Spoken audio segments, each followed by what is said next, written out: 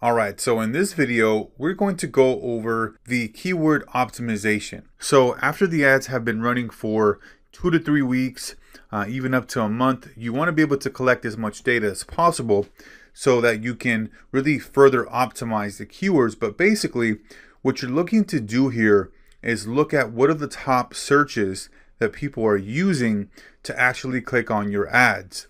And so what you can look at is the actual search terms and we don't have any here because nobody's actually converted. This is more an example here. However, where you would go is you go to keywords and then you go to search terms.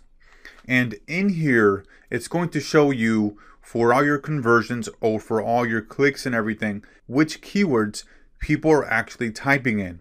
So if you're finding that people are typing in crawl space cleaning experts, crawl space cleaning services near me, you may want to bid up higher on those keywords, right? And so it's really giving you a very good overview of what people are typing to actually get to your ad. It's showing you that journey that they're taking from them going to Google, typing in a specific keyword, right?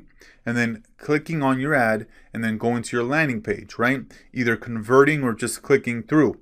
So this is something that you want to be able to come in here and look at and have an understanding of, okay, these keywords are being typed the most. So perhaps I want to raise the bid on these. You know, perhaps I want to further optimize knowing that these are the main keywords people are searching and I can remove some of the other keywords, right, that I'm bidding for that are not getting the searches, right? They're not getting the clicks. So this can help you further optimize by reducing your cost per click, reducing your clicks in general, right? And only bidding on the keywords that are getting the most traffic. So if somebody's searching for crawl space cleaners or crawl space cleaning services or even crawl space water removal, you know that those are getting the most searches and getting the most type of volume. So you can either raise the bid on those or you can just focus on those particular keywords and eliminate the rest that are a little bit more broad so that you can lower your cost per conversion. So this is a quick short video here that is really going to help you uh, further optimize your campaigns with the keywords. Having the ability to look at what the keywords that people are searching um, when they're going to your ad is just fantastic information, right? You can also use this information for SEO. Let's say that you are uh, doing PPC for the client, they're getting some results.